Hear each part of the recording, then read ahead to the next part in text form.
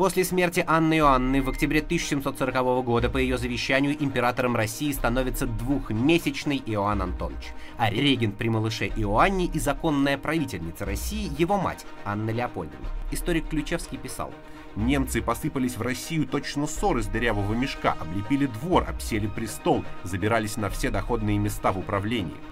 Немецкое засилье во власти раздражает простой народ, а русскую элиту бесит новый закон. Анна Леопольдовна фактически вводит запрет на роскошь. В итоге, в ночь с 5 на 6 декабря 1741 года, то есть через год после воцарения Иоанна Антоновича, Елизавета Петровна, родная дочь Петра Великого, во главе трех сотен гренадеров, врывается в покое Анны Леопольдовны со словами «Сестрица, пора вставать». Елизавета свергает младенца с русского престола. Свергает, но не лишает жизни. Наоборот, по доброте отпускает всех в Европу, назначив приличное содержание. Почему же у этой истории не будет хэппи-энда?